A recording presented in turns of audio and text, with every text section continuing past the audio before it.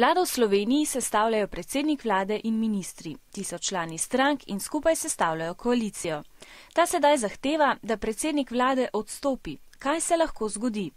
Prva možnost je, premije odstopi in predlaga novega predsednika vlade. Druga možnost, premije poslance v državnem zboru vpraša, ali mu še zaupajo. Začne se glasovanje o zaupnici.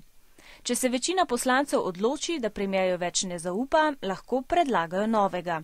Če ga ne predlagajo, sledijo nove volitve, kjer izvolimo poslance v državni zbor. Poglejmo še tretjo možnost. Premije ne odstopi, zato se zbere skupina vsaj desetih poslancev in vpraša ostale poslance v državnem zboru, ali premijeju še zaupajo ali ne. Ob tem morajo že imeti novega kandidata, ki bo predsednik vlade, če večina poslancev ne zaupa premijeju. Ta postopek se imenuje konstruktivna nezaupnica vladi. Obstaja pa tudi četrta možnost, tehnična vlada. Tehnično vlado sestavljajo strokovnjaki in ne politiki, ki v določenem času sprejmejo določene zakone.